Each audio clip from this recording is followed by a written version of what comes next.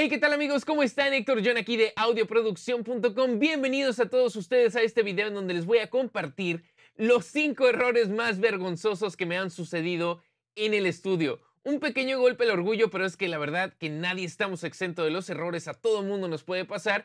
Y pues obviamente compartirles esto me pareció bastante divertido y también que ustedes no vayan a caer en estos errores. Así que por favor, no se me vayan, quédense aquí conmigo y vámonos a la intro.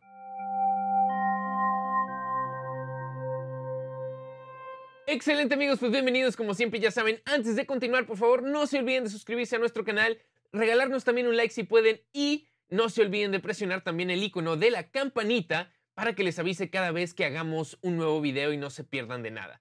Así que quiero empezar con esto porque estos errores me han sucedido a través de los años y sin duda mi forma de verlo es que pues a final de cuentas siempre aprendemos de nuestros errores, pero pues en su momento cuando sucedieron por supuesto que fueron momentos nada agradables. Ya después de que pasan, pues lo vemos de, forma objetiva, decimos, bueno, pues me pasó ese error, voy a asegurarme de que no me vuelva a pasar jamás.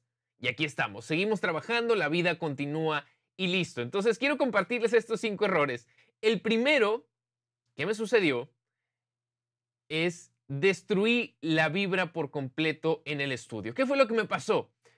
Pues realmente fuera del, estudio, tuve un mal día, tuve, problemas personales, eh, estaba de muy mal humor y en la tarde tenía una grabación aquí en el estudio, obviamente no voy a decir el artista, pero cuando ellos llegaron al estudio, pues simplemente la vibra se sentía bastante negativa porque yo no tenía ganas de trabajar y cuando trabajaba lo estaba haciendo de mala gana. Entonces estábamos grabando voces y pues simplemente el artista se sentía incómodo, eso me di cuenta yo más adelante después cuando lo recapacité, pero el artista se sentía incómodo, estaba inseguro, estaba eh, siendo desentonado y mientras más eh, estaba haciendo las cosas mal, pues yo también me empezaba a frustrar más hasta que llegó un punto en el que dijimos, ¿sabes qué? Sentimos que la, la vibra no está fluyendo aquí, mejor vamos a continuar mañana. ¿Qué fue lo que sucedió después de eso? Ya que empezó a pasar el día, pues me calmé un poco, recapacité y me di cuenta que yo fui el causante de esa mala vibra en el estudio. ¿Por qué? Porque lo más importante que tenemos que hacer es nuestros problemas personales los tenemos que dejar a un lado de nuestra vida profesional. Cuando estamos en el estudio, independientemente de que hayamos tenido un muy mal día en la cuestión personal, es importante que estemos de la mejor actitud, porque a final de cuentas estamos proveyendo un servicio al cliente y el cliente se merece el mejor trato de nuestra parte porque ellos están pagando dinero para recibir un trato especial.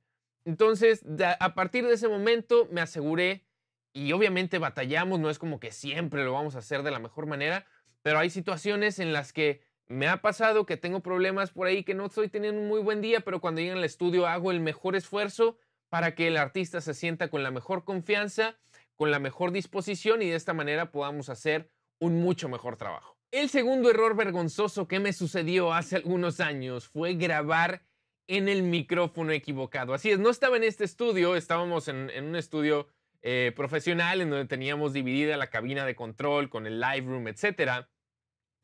Y en esa ocasión habíamos puesto un micrófono, como que habíamos grabado algunas percusiones y habíamos puesto un micrófono de ambiente simplemente para que el percusionista se pudiera comunicar al control room. Y en ese momento, cuando pasamos a grabar las voces, se nos olvidó que teníamos los dos micrófonos ahí activados. Entonces, perdón, teníamos los dos micrófonos en el live room. Entonces, cuando empezamos a grabar, no sé por qué motivos, por mi descuido, activé el micrófono de ambiente que teníamos en el cuarto y el micrófono que estaba enfrente del cantante no estaba activado para nada.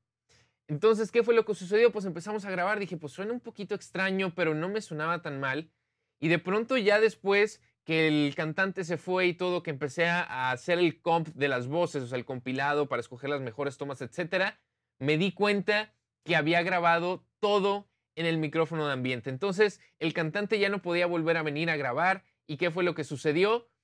pues que tuve que hacer lo mejor posible para tratar de reducir el sonido de reverberación del cuarto, porque al final de cuentas, entre más ganancia tiene el micrófono, pues se escucha más el cuarto. Y pues tratando de corregirlo con estos plugins de corrección como el Isotope eh, de Reverb o el Synaptic Unveil. Y a final de cuentas no pude hacer nada al respecto. Tuvimos que conformarnos ahí con la voz con reverberación medio de cuarto feo. No nos gustó.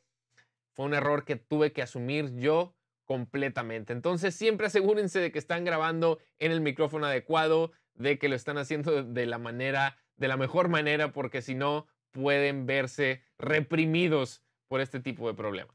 El tercer error que me sucedió, y esto es uno de los que más me he lamentado, pero que a la vez me salvé por completo, y es no hacer respaldos en el disco duro.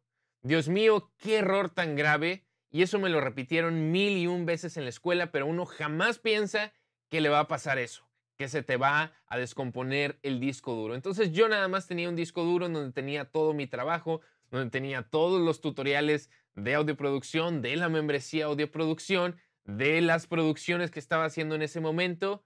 Y un día de la nada, mi disco duro lo deja de reconocer la computadora. Entonces dije, bueno, pues déjame lo desconecto, lo voy a volver a aprender, bla, bla, bla. No lo reconocía en lo absoluto. Entonces, ¿qué sucedió? Pues tuve que llevarlo con el técnico ahí a, la tienda de informática y me dicen, bueno, pues vamos a ver si de casualidad podemos salvar todo lo que está ahí de contenido y lo tenemos que pasar a otro disco duro. Me pasé noches y noches rezando para que ese contenido se pudiera salvar porque ahí tenía, independientemente de los videos de audioproducción, etcétera, tenía producciones que estábamos haciendo en ese momento que todavía no terminábamos y dije, me van a matar por completo, me voy a sentir, voy a querer que me trague la tierra si no puedo recuperar esas sesiones. Entonces, ¿qué fue lo que pasó también? Que tuve que retrasar las sesiones, tuve que hablarles eh, con completa sinceridad y decirles, ¿sabes qué? Me sucedió esto con el disco duro, Estoy esperando a que me den respuesta. Yo confío en que sí se va a recuperar la información, pero pues por ahorita no podemos entrar a grabar porque no puedo abrir ninguna sesión. Gracias al Señor que esa información se pudo recuperar, la pudieron pasar a otro disco duro y a partir de ese momento dije jamás me va a volver a pasar y compré tres o cuatro discos duros y ahora sí siempre cada una de mis sesiones las tengo respaldadas mínimo en dos o tres lugares. Así ya en cualquier momento que le pase algo a un disco duro, sé que puedo recuperarlo, regresar y seguir trabajando de la mejor manera. Por favor, que nunca les vaya a pasar esto. Tomen esa precaución. No piensen que no les va a suceder porque el disco duro en cualquier momento deja de funcionar, ¿ok? Super tip. El cuarto error que me sucedió fue el hacer toda una mezcla sin darme cuenta que me había faltado importar muchas pistas. Así es, y eso fue un error completamente mío. ¿Por qué? Número uno, porque no pedí la mezcla de borrador. La persona simplemente me contactó en línea, me dijo, ¿sabes qué? Quiero que mezcles mi canción. Le dije, ok, por favor envíame los multitracks. Listo, jamás escuché nada. Muy mal de mi parte. Y entonces, pues yo importé las pistas a mi sesión, según yo ya estaba todo. Empecé a subir, a, a balancear. Dije, pues esta producción está un poquito extraña porque era como que puras percusiones y la voz. Dije, bueno, pues así es, ¿no? Entonces empecé a mezclar, hice toda mi mezcla, etcétera, terminé, se le envío al productor, me dice, oye, pero pues te faltaron 15, 20 pistas, que eran todas las guitarras acústicas, las guitarras eléctricas. Dije, no, pues esta persona no me las mandó. Bueno, pues fui a revisar mi carpeta y resulta que sí estaban ahí y no sé por qué motivos no se importaron las, a la sesión. Entonces, pues que, número uno, qué vergüenza de mi parte porque eso mostró como que un poquito cero profesionalismo. Y segundo, es que tuve que volver a rehacer la mezcla por completo, porque a final de cuentas, todos los movimientos de procesamiento que hice fue en base al contexto que tenía de instrumentación en ese momento. Pero ya te pones a agregar guitarras, ya te pones a agregar teclados y pues todo lo tienes que volver a hacer. Entonces perdí parte de mi tiempo, de cierta forma podemos decir que también perdí dinero y además pues quedé un poco en ridículo con el productor. ¿Qué sucedió? Pues que también ya nunca regresaron a trabajar conmigo. Una disculpa si por ahí me está viendo el productor de esto. Eh, pero bueno, eso es algo que siempre tienen que asegurarse, revisar que todas las pistas estén ahí y de la manera que mejor pueden asegurarse es pidiendo una mezcla borrador, porque así ya cuando tienen el demo saben, oye, pues sabes que aquí me están faltando estas guitarras que no escucho, que quizá no se importaron y listo, podemos hacer un mucho mejor trabajo. El quinto y último error vergonzoso, he tenido muchos, pero creo que estos cinco son los más significantes, es grabar las voces con exceso de compresión desde la entrada. ¿Ok? Este fue un error bastante significante porque fue, una, fue un artista bastante importante que volaron desde fuera aquí a la ciudad de Monterrey.